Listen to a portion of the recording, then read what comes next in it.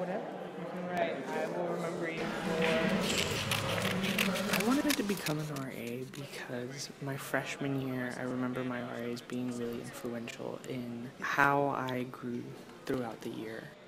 The event that I put on in Founders was primarily for the residents to let people in their lives know what it is that they'll always remember them for. I think more often than not, we get caught up in our day to day lives and we don't let those people close to us know why it is that we care about them or why they're most special to us. Always says, like, I wish I would have told so and so about this. Well, tell them.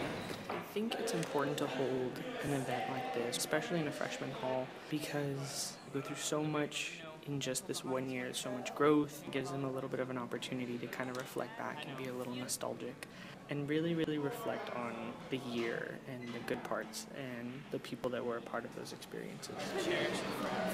I think I did get a good turnout. I do think that they enjoyed it because they, they all of them were laughing about different memories that they had, and so it kind of let them really reflect on their year. And then you just give it to the person that you want to give it to.